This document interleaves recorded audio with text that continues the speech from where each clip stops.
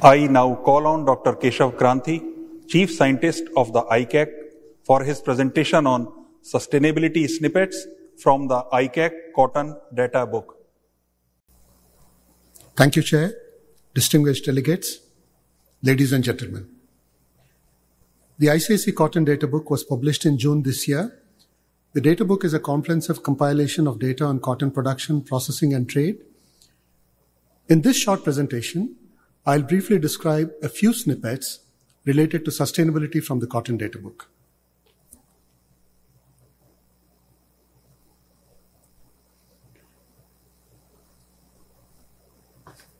The ICAC Cotton Data Book has 564 pages of numbers and graphs. It covers production practices and trade of 38 countries with data on individual states of each of these countries. The book has details on economics of cotton cultivation and production. It describes components of production practices on seed processing, planting, nutrient management, weed management, water management, insect pest management, disease management, harvesting methods, ginning, etc. The data book also describes cropping systems, fertilizer usage, pesticide usage, water uh, footprints, and much more. In this presentation, I'll be focusing on Africa plus 11 major countries, which together account for 95% of the global cotton production. As you will soon see, there's an enormous diversity in production practices across the world. This presentation deals with three pillars of sustainability social, economic, and environmental. In the next three slides, I'll present some aspects on social sustainability. The bars that you see here represent the number of cotton growers. More than 22 million farmers cultivated cotton in 2020. And interestingly, India, China, Africa, and Pakistan host 95% of the global cotton farmers. Cotton farming provides sole income and supports livelihood especially for the 22 million smallholders in Asia and Africa. India, China, Africa, and Pakistan also provide farm employment of 2.4 billion man days every year. Thus, cotton farming not only means livelihood, but also enormous employment generation for millions of persons across the world.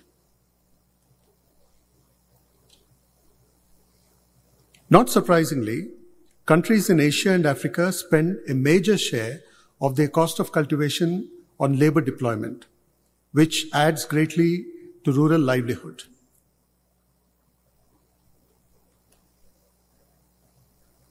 In the next five slides, we will explore five aspects of environmental sustainability, such as irrigation water, fertilizers, pesticides, land use efficiency, and soil health. First, let us take a look at irrigation water. Irrigation water is a critical input in agriculture. Cotton in Africa and Brazil is rain-fed. 85% of cotton area in Argentina is rain-fed, and 65% of the area in India and United States also is rain-fed. Therefore, it is not surprising that these nations have the best water footprint.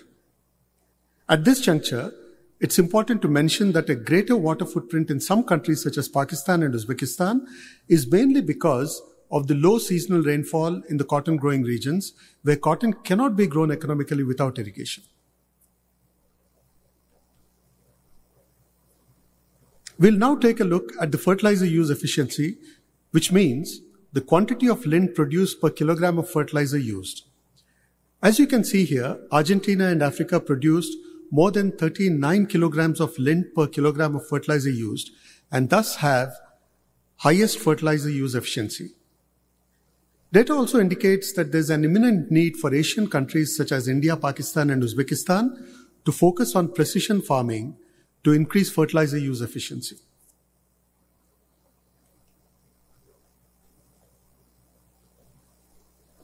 Now we'll take a look at expenditure on pesticides.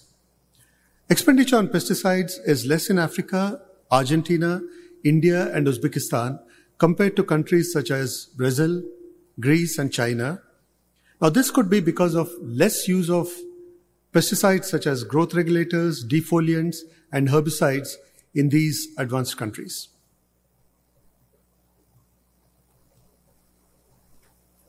Now we'll take a look at land use efficiency. Land use efficiency is less in countries which harvest low yields. Interestingly, there appears to be a direct correlation of yields with, uh, with plant population density. The average plant population density is 111,000 plants per hectare in all high yielding countries that harvest more than global average of 780 kilograms of lint per hectare. Conversely, the plant population density is lowest in Africa and India, which harvest lowest yields in the world and therefore have low land use efficiency.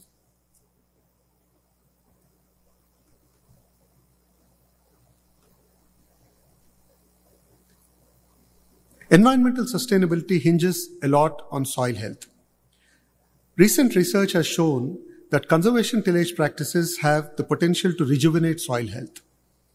Data shows that Argentina, Australia, Brazil, China, and the United States are leading the way on zero tillage.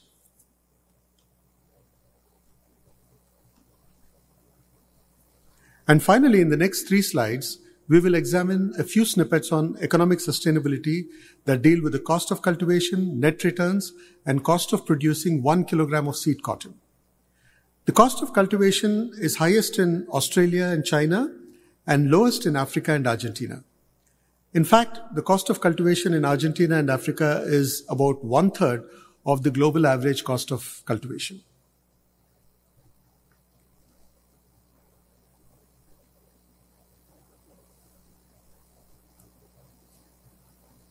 Brazil, Turkey, and Australia get the best net returns.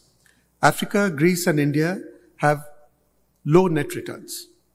This is something that these countries must start looking at.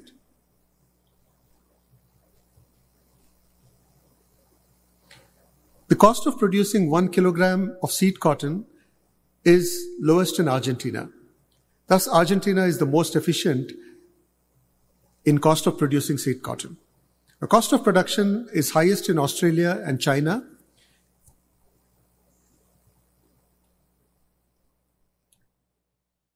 To summarize, we dealt with the three main pillars of sustainability. On social sustainability, Africa, China, India, and Pakistan provide livelihood to 22 million farmers. And these countries also provide employment of 2.5 billion man days.